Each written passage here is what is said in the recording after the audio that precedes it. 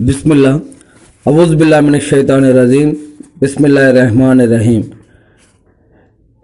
పెండ్లి నాలుగు రకాలు. అంటే వివాహం నాలుగు రకాలుగా చేసుకుంటున్నారు.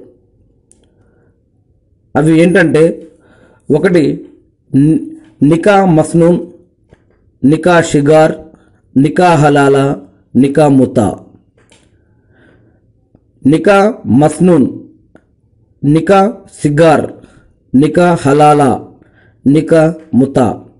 ఇప్పుడు ఈ నాలుగు రకాల పద్ధతుల్లో ఇస్లాం ధర్మం మరియు అల్లా యొక్క చట్టం ప్రకారం ఏది సరైన పద్ధతి ఏది సరైన పద్ధతి కాదు మరియు ప్రవక్త మొహమ్మద్ సరస్లం గారి యొక్క సున్నతి ప్రకారం ఏది సరైనది ఏది సరైన కాదు కాదు. ఎటువంటి పెళ్ళి చేసుకోవచ్చు ఎటువంటి పెళ్ళి చేసుకోకూడదో ఇప్పుడు మనం చూద్దాం. ఇప్పుడు మొదటిగా నికా మస్నూన్ అనే ఈ యొక్క నిక సంప్రదాయబద్ధమైన వివాహం. ప్రధాన సంరక్షకుడు అంటే తండ్రి లేక తండ్రి లేకపోతే మన తరపున ఎవరైతే పెద్దవారు ఉన్నారో వారి యొక్క సంరక్షకుని ఆధ్వర్యంలో ఆ సంరక్షకుని వలి అంటారు.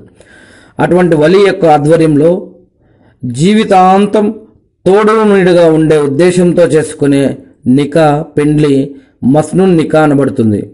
జీవితాంతం చనిపోయేంత వరకు ఇక వారితోటే భార్యగా లేకుంటే భర్తగా ఎవరైతే భార్యాభర్తలుగా కలవాలని పెళ్ళి చేసుకుంటారో ఉండాలని పెళ్ళి చేసుకుంటారో ఇటువంటి నికా మాత్రమే అల్లా వద్ద స్వీకరించబడుతుంది.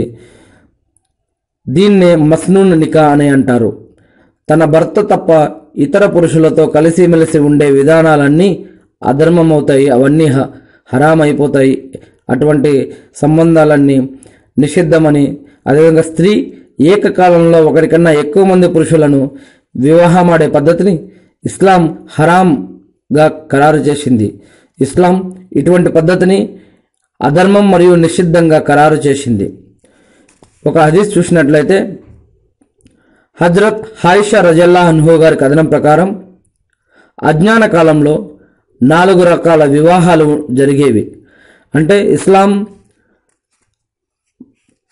మొహమ్మద్ ప్రవక్త గారిని ప్రవక్త మొహమ్మద్ సల్లాం గారిని ప్రవక్తగా ఎన్నుకోక ముందు అనేక రకాల ఈ నాలుగు రకాల పద్ధతుల్లో ఆనాడు కాలంలో పెళ్ళిళ్ళు జరిగేవి. మొదటి పద్ధతి మామూలే. దాని ప్రకారం నేటికి జనులు వివాహ సం- వివాహ సందేశం పంపిస్తున్నారు. అంటే ఒక పురుషుడు మరో పురుష సంరక్షకునికి వలీకి అతని కూతురి కోసమో లేక మరో స్త్రీ కోసమో వివాహ సందేశం పంపుతాడు. ఆ వ్యక్తి వలి మెహర్ సొమ్మును నిర్ణయించి తన కుమార్తె లేక తన సంరక్షణ సంరక్షణలో ఉన్న స్త్రీతో అతని వివాహం జరిపిస్తాడు. ఇక రెండవ పద్ధతి ప్రకారం ఒక స్త్రీ ఋతుస్రావం నుంచి పరిశుద్ధ పొందిన తర్వాత ఆమె భర్త ఆమెను ఉద్దేశించి నీవు పలానా వ్యక్తి పరాక్రమశాలి అందగాడు ఉన్న ఉన్నత వంశస్థుడిని పిలిచి అతనితో రమించు అంటాడు. ఆమె ఆ వ్యక్తితో రమించి ఆమె గర్భవతి అని నిర్ధారణ అయ్యే వరకు ఆమె భర్త ఆమెకు దూరంగా ఉండేవాడు. గర్భవతి అని స్పష్టంగా తేలిన తర్వాత భర్త తాను కోరితే ఆమె వద్దకు పోయేవాడు. ఇంతకీ ఇలా ఎందుకు చేయబడిందంటే చేయబడేదంటే ఉన్నత కుటుంబీకుల ద్వారా అందమైన సంతానం కలగాలని వారు కోరుకునేవారు. ఈ రకమైన ని- నికాను నికాహే ఇస్తిబ్జా అనేవారు. నికా నికాహే ఇస్తిబ్జా అని అనేవారు. ఈ రకమైన అజ్ఞాన చేష్టకు పూర్వం అనేక దేశాలలో కూడా ఉంది. దీన్ని నియోగ్గా వ్యవహరించేవారు. ఇది ఇస్లాం పద్ధతి అవతరించక ముందు ఇస్లాం చట్టం లాగు కాక ముందు జరిగిన పద్ధతులు ఇవి. మూడవ పద్ధతి ఏంటంటే పది మంది వరకు పురుషులు కలిసి ఒకటే స్త్రీతో లైంగిక సంబంధం ఏర్పరచుకునేవారు. ఆ స్త్రీ గర్భవతి అయ్యి శిశువును కన్న మీదట ఆ పురుషులందరినీ పిలిపిస్తుంది. ఆమె ఆహ్వానాన్ని నిరాకరించే సాహసం ఎవరికీ ఉండదు. వారంతా తన ఇంటికి వచ్చిన తర్వాత ఆమె వారితో ఇలా అంటుంది మీరంతా నాతో ఎలా వ్యవహరించారో మీకు బాగా తెలుసు. ఇదిగో నేను ఈ శిశువును కన్నాను. ఓ పలానా ఓ పలానా వాడా వీడు నీ బిడ్డ. ఆ స్త్రీ ఏ మగవాని పేరుతో పిలిస్తే ఆ బిడ్డ చట్టపరంగా అతనిదే. కాదు కూడదు అనే ధైర్యం ఆ మగవాడికి ఉండదు. ఇది అప్పట్లో ఉన్న అనేక రకాల చట్టాలు. ఇస్లాం ధర్మం అవతరించక ముందు ఉన్న అనేక చట్టాలు అన్నమాట ఇవన్నీ. ఇక నాలుగవ పద్ధతి దీని ప్రకారం ఒక స్త్రీ వద్దకు చాలామంది వస్తూ పోతూ ఉంటారు. ఆమెతో వ్యభిచరిస్తారు. ఆమె ఎవరినీ కాదనదు. వారు వేషాలనబడేవారు దానికి గుర్తుగా ఇంటి కప్పుపై ఒక జెండా ఉండేది. వాళ్ళ ఇంటిపై ఒక జెండా ఉండేది. కోరిన వారు రావచ్చని దాని యొక్క భావం. ఆమె గర్భవతి అయి శిశువును కన్నప్పుడు ఆమెతో వ్యభిచారం చేసిన పురుషులంతా కలిసి జన్యుపరంగా ఆ శిశువు ఎవరి సంతానమో నిర్ధారించే ప్రావీణుణ్ణి పంపిస్తారు. ఆ వ్యక్తి ఏ మగవాడి వైపు ఆ శిశువును పంపిస్తే అది అతని సంతానంగా ఖరారవుతుంది. తిరస్కరించే అధికారం ఆ మగవాడికి ఉండదు. మహాప్రవక్త ముహమ్మద్ సల్లాహస్లం ఇస్లాం ధర్మం తీసుకువచ్చాక అజ్ఞానంతో కూడిన అక్రమ వివాహ పద్ధతులన్నింటినీ ఆయన మొహమ్మద్ అస్లం అధర్మంగా హరాంగా ఖరారు చేసి నేడు చలామణిలో ఉన్న నికాను సమ్మతించి ఆమోదించారు. ఈ హదీసును బుకారి అనే హదీస్ గ్రంథంలో పొందపరచబడి ఉంది. అంటే ప్రవక్త మొహమ్మద్ అస్లాం గారి మీద ఖురాన్ అనే గ్రంథం వహీ రూపంలో అవతరించక ముందు ఇలా అనేక పద్ధతుల్లో ఆనాడు పెళ్ళిళ్ళు జరిగేవి. ఈ ప ఇటువంటి పద్ధతులన్నీ కూడా తప్పు హరాం ఇటువంటి పెళ్ళిళ్ళు జరగకూడదు చేసుకోవద్దు ఇటువంటి చెడు చెట్లకు పోవద్దు ఇవన్నీ కూడా అల్లా దృష్టిలో పాపం అని ఇటువంటి పెళ్ళిళ్ళు ఏవి చేసుకోవద్దు. ఒక వలి అంటే తల్లిదండ్రులు మరియు లేదా పెద్దల సాక్ష్యంలో వారి సమ్మతితోటి అమ్మాయిని అబ్బాయిని చూపించి వారికి సాక్ష్యం పలుకుతూ పెండ్లి చేసి జీవితాంతం వారితోటే గడిపేటటువంటి సాంప్రదాయాన్ని ఇస్లాం ధర్మం తర్వాత తీసుకువచ్చింది. ఈ యొక్క హదీస్ని బుకారి హదీస్లో పొందుపరిచి ఉన్నారు. బుకారి హదీస్ కితాబున్ నికాలో బాబు మన్లా నికా ఇల్ లికా ఇల్లి బివల్లియిన్ అనే హదీస్లో పొందపరచబడి ఉంది. ఇక మరో హదీస్ కనుక చూసినట్లయితే నికా షుగ్ నికా షిగార్ అనే హదీస్ అంటే మారకపు నికాహ్. అంటే తన కూతురును లేక తన చెల్లిను కూతురిని కానీ చెల్లిని కానీ ఇంకొకరికి పెళ్ళి చేయాలి అనుకున్నప్పుడు అతను కూడా అతని కూతురును లేక అతని చెల్లిను తనకిచ్చి నికా జరిపించాలని షరతు విధించటం అనమాట నేను నీకు ఇచ్చి పెళ్ళి చేస్తా సరే నువ్వు కూడా నాకు ఇచ్చి పెళ్ళి చేయాలి. లేదా నేను మీ వాడికి ఇచ్చి పెళ్ళి చేస్తా నువ్వు కూడా మా వాడికి ఏది ఇచ్చి పెళ్ళి చేయాలి అనేటటువంటి ఇటువంటి ఒప్పందం అనమాట లేదా ఒకరి అమ్మాయిని కోడలుగా తెచ్చుకొని తమ కూతురిని కూడా ఆ ఇంటి కోడల్ని చేసుకోమని చెప్పటం అనమాట ఈ రకమైన నిక ఇటువంటి పెళ్ళిళ్ళని ఇస్లాంలో వారించడం జరిగింది. ఇటువంటి పెళ్ళిళ్ళు కూడా చేసుకోవద్దని చెప్పబడుతూ ఉంది. ఈ యొక్క పె- ఇటువంటి పెళ్ళిని నికా నికా షిగార్ అని అనేవారు. అంటే మారకపు నికా అనేవారు. ఈ యొక్క ఇటువంటి పెళ్ళి పద్ధతిని కూడా ప్రవక్త మొహమ్మద్ ఇస్లాం గారు దీన్ని హరాం ఇటువంటి పెళ్ళిళ్ళు చేసుకోవద్దు ఇది కూడా పాపమే అని చెప్పబడు చెప్పారు. హజరత్ అబ్దుల్లా బిన్ ఉమర్ రజల్లా గారి కథనం ప్రకారం ప్రవక్త మొహమ్మద్ ఇస్లాం గారు మారకపు నిహా నుండి నికా నుండి వారించారు. ఈ అదీస్ను బుకారీ హదీస్లో పొందుపరిచారు. కితాబున్ నికా బాబు షిగార్ అనే హదీస్లో ఈ యొక్క హదీస్ పొందుపరచబడి ఉంది. అదేవిధంగా ఇక మూడవ పద్ధతి హలాలా నికాహ్. హలాలా నికా అంటే ఏంటి? అంటే అస్గర్ తన భార్య అయిన అస్గరీకి మూడు విడాకులు ఇచ్చిన తర్వాత మళ్ళీ ఆమెను పెళ్ళి చేసుకునేందుకు అక్బర్తో ఆమె పెళ్ళి జరిపిస్తాడు. పెళ్ళైన రెండు మూడు రోజులకు ఆమెకు విడాకులు ఇవ్వాలని ముందుగానే షరతు పెట్టుకుంటారు.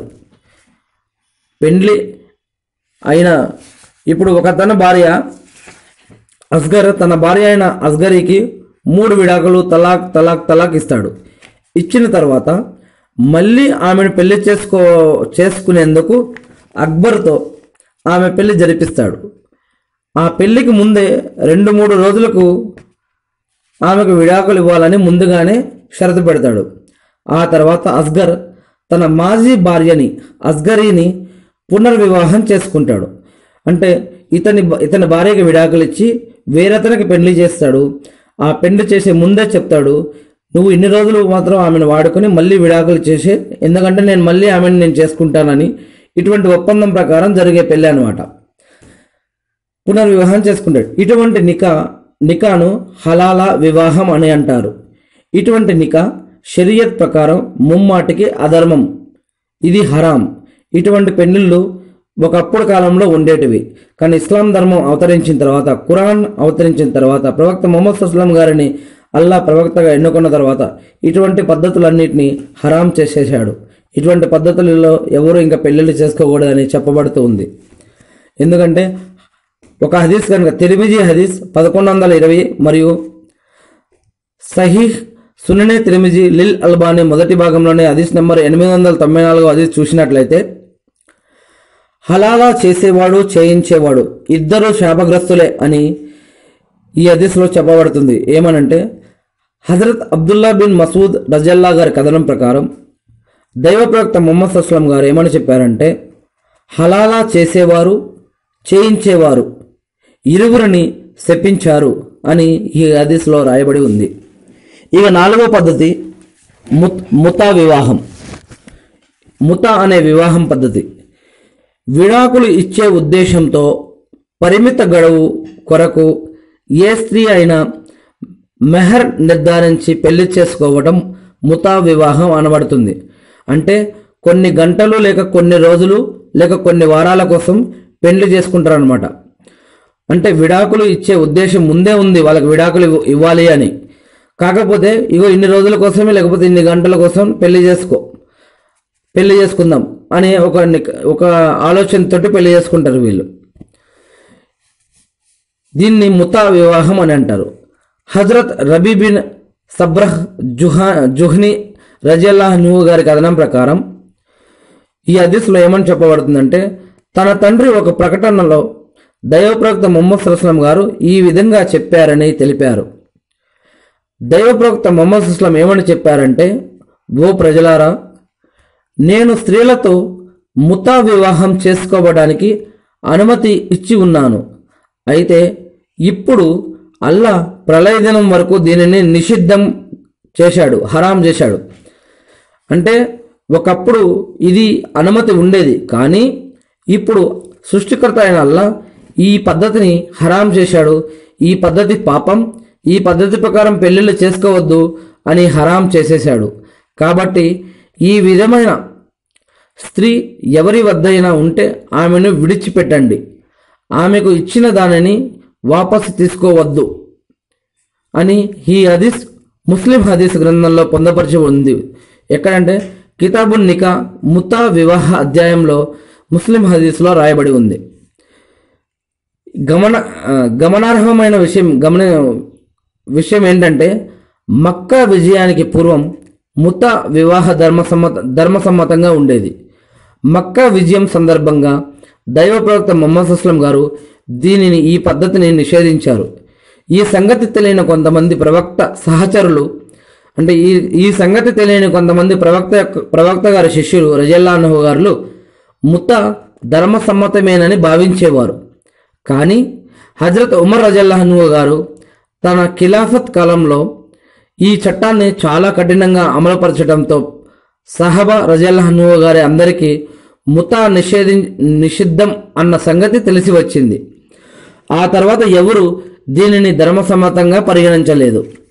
ఇప్పుడు తెలిసిన విషయం ఏంటంటే పెండ్లిళ్ళల్లో నాలుగు రకాలు ఉన్నాయి. నికా మస్నూన్ నికా షిగార్ నికా హలాలా నికా ముతా. నికా మస్నూన్ అనే పద్ధతి తప్ప మిగతా మూ మూడు పద్ధతులు నికా షిగార్ నికా హలాలా నికా ముతా అనే ఈ పద్ధతులు ఇస్లాంలో రద్దు చేయబడ్డాయి. ఇటు ఈ పద్ధతుల ప్రకారం ఎవరు పెళ్ళి చేసుకోవద్దు చేయవద్దు అని అటువంటి దానికి మద్దతు కూడా సహాయం కూడా చేయవద్దు అని. ఒక్క తల్లిదండ్రులు లేకుంటే సంరక్షకుల సాక్ష్యంతో జీవితాంతం మరణించేంత వరకు పెళ్ళి చేసుకునే ఉద్దేశంతోనే అటువంటి వారికి పెళ్ళి చేయాలని అటువంటి పెళ్ళిళ్ళే జరపాలని ఆ పద్ధతినే పాటించమని ఈ యొక్క కురా మరియు హదీస్ వాక్యాల ద్వారా తెలుస్తుంది ఇది ఇస్లామిక్ చట్టం. మరియు ఖురాన్ మరియు హదీస్ వెలుగులో ఇప్పుడు మనం తెలుసుకున్న ఈ వాక్యాల ప్రకారం అల్లా మేము మాకు సాధ్యమైనంత వరకు ఒకవేళ మేము చేసుకున్నా లేదన్నా ఎవరైనా పెళ్ళికి పిలిచినా కూడా ఇటువంటి పద్ధతుల ప్రకారం ఉన్నాయా లేవా తెలుసుకొని అటువంటి పెళ్ళిళ్ళకి మేము వెళ్ళొచ్చో వెళ్ళకూడదో. మేము తెలుసుకొని వాటి నుంచి మేము వారించుకునే అవకాశాన్ని మాకు ప్రసాదించండి వల్ల. ఒకవేళ మంచి పెళ్ళి అయితే మేము కూడా సాయం చేసే అవకాశాన్ని మాకు ప్రసాదించండి వల్ల. చెడు పెళ్ళి అయితే ఆపని ఆపడానికి లేకపోతే ఆపలేకపోయినా సరే ఇది చెడు అని తెలుసుకొని మమ్మల్ని మేము ఆగిపోవడానికి కూడా కావలసిన ధైర్యాన్ని అటువంటి ఆలోచనని అటువంటి ఇలుముని జ్ఞానాన్ని మాకు ప్రసాదించమని ఖురాన్ సున్నతులు ప్రకారం జీవించే అవకాశాన్ని మాకు ప్రసాదించమని మా యొక్క ఆరాధనలను స్వీకరించమని మాకు సహాయం చేయని మిమ్మల్ని ప్రార్థిస్తున్నాం. వల్ల అమీన్